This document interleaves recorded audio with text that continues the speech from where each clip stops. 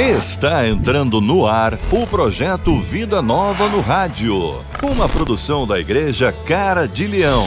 Projeto Vida Nova, a nova dimensão na comunicação do Evangelho da Paz.